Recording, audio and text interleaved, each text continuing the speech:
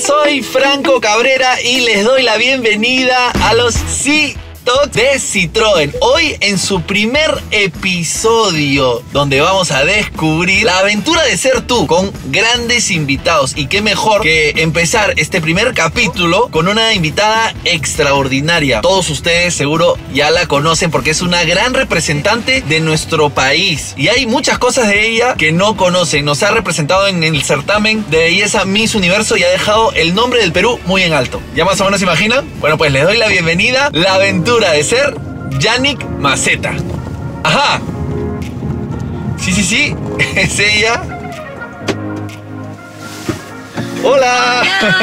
¿Cómo estás, Yannick? ¿Qué tal? ¿Tú qué Bienvenida. tal? Muy bien. Gracias. Contento de, de poder, eh, de poder compartir este, este pequeño espacio de, de tiempo y orgullosísimo pues, de, de poder Por verte. fin nos conocemos. Sí, sí, me han hablado tanto de ti, pero no solo eso, sino que como peruano me siento pues este orgulloso, admirado de toda la Ay, chamba que haces y de todo lo que has logrado por el país. Gracias. No, de verdad, gracias a ti. Tú en la vida tienes como muchas causas, llamémosle así, por, por resolver o, o de tu interés, ¿no? No, bueno, estoy acá en Perú trabajando, tengo la ONG que ayuda a los niños que eh, son sobrevivientes de la violencia sexual. Mi ONG se llama Little Heroes Perú. La hice hace Little poco. Heroes, Sí, qué Little bonito. Heroes, pequeños héroes. Y lo hice eh, de verdad porque hay tanta carencia acá que creo que los han abandonado un poco el sistema legal y siento de que se tiene que poner un poco más de énfasis y presión también. Entonces yo he tenido la, la oportunidad y la bendición de tener como que una pantalla, de poder este, contar con el cariño de la gente, entonces ¿por qué no usar esa herramienta para hacer algo bueno, ¿no? Por mi país. Por supuesto. Y, y todo esto nace a raíz de que tú te conviertes en Miss Perú. No, desde antes. Es, es más, yo me convierto en Miss Perú porque sabía que podía ayudar a más personas siendo Miss Perú. Ok, tú Como que encontraste. usar la plataforma. Claro, Exacto. encontraste en, en Ser Miss Perú una, una ventana, una puerta Sí. para, para lograr ese tipo de, Exacto. de objetivos. Algo que mucha gente no sabe es que tú eres ingeniera de sonido, Sí, ¿no? Y eso, y eso es algo que ha ido saliendo a la luz conforme te han ido entrevistando y qué sé yo. sí. Pero tú eres una, una ingeniera de sonido importante, ¿no?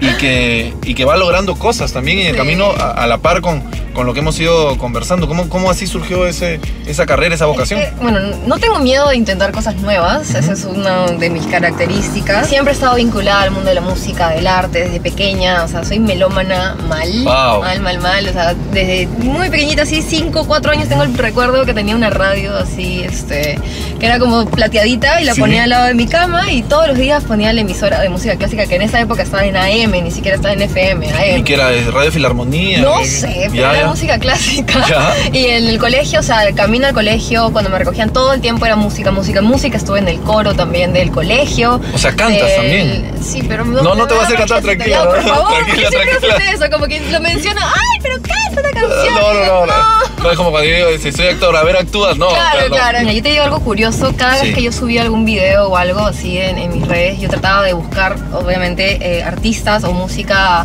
eh, folclórica o que, que los represente completamente. porque Y me decían, ¿qué canción es esa? ¿Cómo- dónde el-?" Y yo decía, ¿cómo no lo no la conocía, conocen? claro. No, yo por mí yo sí lo tengo, porque tengo un playlist de solamente música peruana.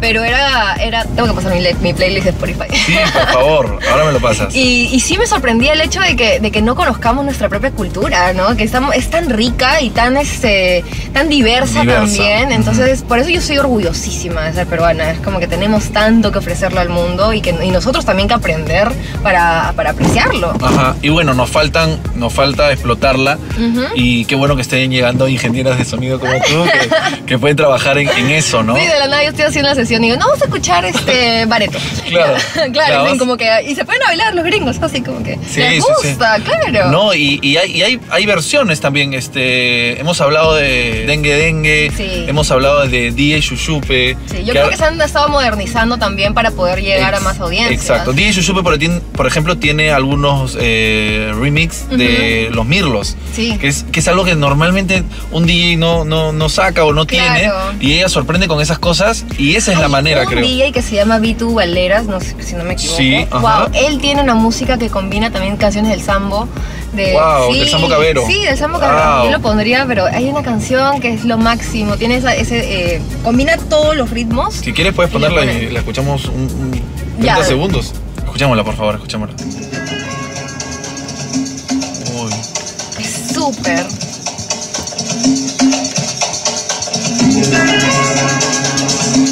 ¿Sí o no? Ah, solamente. claro. Es increíble esa canción. El Brickwork. Sí, increíble, brutal. ¿Qué me estás mostrando? Por favor. No había escuchado esta. ¿No? No. Wow. Yo siempre le digo a todo el mundo, atrévanse. Yo sé que es difícil, ya no es tan fácil, porque a veces obviamente que da miedo, ¿no? Pero el hecho cuando, cuando tú ya vences ese miedo, o sea, las cosas se ponen así abiertas y, y el mundo se expande. Entonces yo digo, no tengan miedo, o sea, intenten nuevas cosas. Y si no está, bueno, hay posibilidades de que crean nuevas cosas. Así, así nace la, la música, así nace cualquier cosa Sí. de este planeta. ¿me Mi, mi recomendación siempre es como tú tienes un objetivo, ¿ok? Ujú. Anda hacia ese objetivo, haz Trabaja eso, por exacto, eso. trabaja por él. Capaz no lo logres, capaz no lo consigas porque se necesitan muchas más herramientas de las que Sí. tienes y de repente en un futuro lo lograrás, pero en el camino, a propósito de que estamos yendo por, el, por la ruta, en el camino vas a encontrar cosas tan maravillosas que probablemente te termines olvidando del objetivo y, Sí. y empiecen a nacer otros objetivos, ¿no? Sí. Pero por ejemplo, cuando he estado manejando este carro por, por algunos días, Ajá. yo mismo he ido descubriendo cosas que no sabía que tenía. Claro. No sabía que tenía un auto. Imagínate. Entonces yo decía, eh, ¿por qué mi celular se está cargando y no, tiene, no tenía ningún cable? Y es No que. tiene cla- ah, no, en este cable. espacio de aquí. Eh, wow. Este espacio de aquí es un cargador inalámbrico. Entonces, Qué tú pones tu regio, celular ahí y se va cargando solito, ¿no? Es Ajá. alucinante. Y después tienes un montón de cualidades como la que ya te enseñé, que es el masajeador. Dios mío, lo necesitaba. Qué bestia, ¿no? Sí, no. Para, para los que chambeamos así un, un montón y para los que no también. Para los que no, también, necesitan masajes. pueden venir, claro, pueden venir a dormir. Yo, tú sabes que yo he hecho artes marciales desde los nueve años. ¿Pero qué me estás diciendo? O sea, ¿qué, ¿qué más vamos a descubrir? Yo sé, He sido alcalde, de- sido yo alcaldesa de Barranco también. No, no, no, no, no, no, no, tampoco. Ah, no, muy no. bien, muy bien.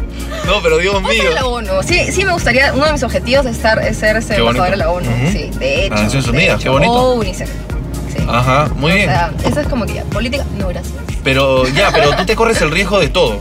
Sí, sí, sí, o sea, mi, mira, O sea, yo tú- empecé el sí. taekwondo a los nueve años, eh, lo hice hasta los, o sea, soy cinturón negro hasta los 16, 17, luego empecé con el Muay Thai, Ujú. Eh, hice Muay Thai, competí en el Muay Thai, después me mudé para Estados Unidos, hice MMA, Jiu-Jitsu, competía también. Wow. Entonces ya como que lo empecé, o sea, dejé de entrenar a ese nivel de competencia porque obviamente tenía que postular y tenía que trabajar con Pero esa no- carita Claro. y no podía. Yo- yo te estaba revisando el tabique. Sí, no, no, no, Claro, no. Ay, O sea, eso era horrible. Mi mamá, yo llegaba así al entrenamiento como que, mamá, entrené súper bien, que esto, que el otro, que he recuperado mi aire, que he recuperado físico. Y mi mamá, ¿qué te han hecho en la cara? Y yo, y yo no, no, no, todo bien, todo bien. Pero, ¿qué te han hecho en la cara? Y yo, no, nada. Y tenía acá como que morado. Claro, obvio. Llegaba así como con sangre, así. Y mi mamá era como que, ¿qué te han hecho? ¿Por qué haces eso? Y, y yo, a mí me encanta. O sea, no descarto la idea de volver a pelear a nivel profesional, la verdad. Digo, bueno, ¿No, t- ¿por qué tienes no? miedo? No. Bueno, no. ¿a qué le tienes miedo? eh? A nada. A las arañas. Ah, sí, bueno. A las arañas, Ya eso está, sí. Ahí está. Oye, este, te decía, de las pocas cosas que no has hecho, ¿qué, qué, sueño tienes por hacer? No necesariamente tiene que ser una actividad, pero, o sea, ¿qué, qué meta te, te toca o, o te has planteado? Sueño meta, meta sí ahorita que la tengo como que a corto plazo es el hecho de que se puedan instalar las cámaras GESEL en el Perú. O sea, es así que estoy ya más de tres años tratando de, de- de ver qué pasa con el sistema Ajá. que no las implementa. Las Entonces- cámaras Gesell. Sí, las cámaras GESEL. ¿Sabes qué es una cámara? No, no, a ver, ¿No explícame. sabes lo que es una cámara? No, GESEL? no mentira. Siempre tengo esta respuesta a todo el mundo. Sirve para tomarles testimonio de los niños, eh, pero lo toman una sola vez. Entonces es un, un espacio que está habilitado con cámaras, con micrófono, que tienen eh, más de siete especialistas que es como que se, se, se encargan de que el niño pueda dar su testimonio en un espacio eh, seguro Privado. privado, alejado de su agresor, hermético, Sí. y sobre todo que eso pueda ser como que la, la evidencia principal para el juicio. Entonces pueden empezar el juicio así como que al toque. Lo que pasa con el Perú es de que hay muy pocas, o sea, hay muy pocas para tanta demanda de, de- de casos. Entonces los niños y las familias tienen que esperar meses por sus citas eh, y no pueden empezar el- los, sus tratamientos, no pueden empezar ni siquiera como que, ni siquiera pueden estar seguros. O sea, entonces yo digo que es muy, muy, muy importante. Hay una ley que es la ley 3920 que fue implementada en el 2019, imagínate, o sea, recién, en el 2019, pero sin embargo que dice que es de prioridad eh, pública y, y, de sector privado de que se implementen las cámaras, pero sin embargo nadie lo está haciendo. Hay donativos, ¿no? Dicen ya, yo te pongo la cámara Gesell, pero no sé qué está pasando y eso es lo que estoy tratando de investigar Ujú. con el sistema, que no los deja implementar las cámaras Gesell. Hay muchos alcaldes también que lo quieren implementar para, para sus regiones y no no los frenan, o sea, los frenan, no se implementan, no hay más, o sea, acá en Lima creo que es la que tiene más, pero por ejemplo, Piura o Trujillo, que tiene bastantes casos, o Arequipa, que también tiene los casos, creo que es el número dos de, de violencia acá, este, tiene una, nada más. Por, ¿Qué dices? por toda la ciudad, sí. O sea, es así de, de preocupante. Eh, claramente veo en ti una mujer valiente, luchadora, eh, también muy, muy activa, eh, con, muchas, con muchas metas, con muchos objetivos, con muchas actividades, ¿no? Mil oficios. sí, con, con mucha, de- de- o sea, con harta vocación en miles de mí me dicen que caminos. yo soy como una cajita de Pandora, así como que me preguntas algo y yo como que, de hecho. Mira, yo te, iba, yo te iba a decir algo, pero no te iba a gustar porque es como, eh, para mí es como una araña que tiene como Ah, mucho- no, no, no, yo no. Pero no, eres como, eres una, eres una mujer que ha decidido enfrentarse a todo y se ha dado cuenta que a- había pues cierto límite, ¿no? Y más allá de ese límite simplemente está la felicidad o, Sí. o tu, o tu propia alegría. Y creo yo que tu vida, a pesar de que es, es- es corta todavía porque eres muy joven, ha sido toda una aventura. Una aventura totalmente. ¿eh? O sea, yo de verdad no me arrepiento de nada de lo que me pasó en mi vida. Creo que de cada lección, o sea, de cada, de cada cosa mala aprendo. De cada, cosa- cada cosa buena que me pasa sigo creciendo. Entonces es- siempre lo tomo así y, y sí, o sea, yo cuando me pongo a hablarlo en voz alta digo, de verdad he hecho tantas cosas, o sea, no, no lo puedo creer, ¿no? Pero van- faltan más cosas. Todo lo bueno y lo malo es abrazable. Sí, para mí. Exacto. Y, y eso está bueno reconocer. ¿Y qué o cómo describirías en algunas palabras eh, la aventura de ser Yannick Maceta? Oh my god. es de verdad una montaña rusa. Eh, no, no tengo como que. Que no sé, yo en mi mente digo es una locura.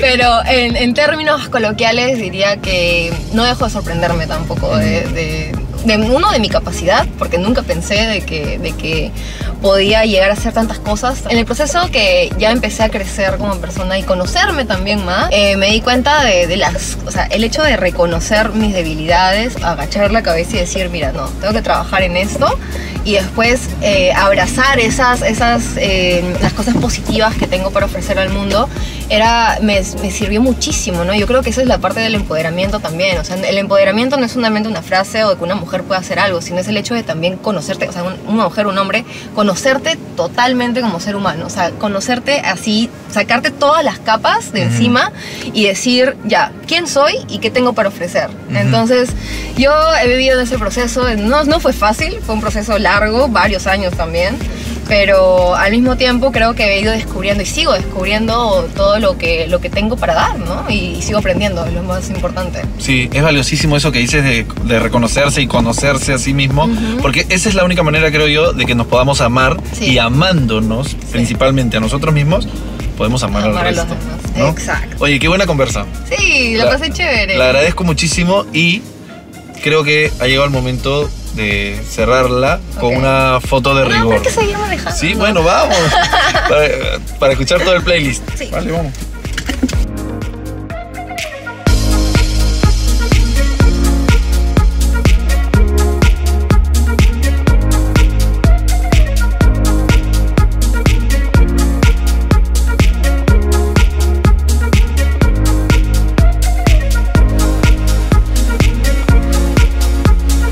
Segundo, Yanni, que nos está parando la policía. Es algo que le va a dar vida y color al, Oh al programa. Yo no quiero la cárcel. Por favor, nadie. Claro, ya era presencial el top 10, luego hicieron el top 5. Y si no te imagino llorando sola en tu, en tu depa en, en Nueva York. Gracias, gracias Quiero agradecer. por conectarse en mi Zoom, ¿no?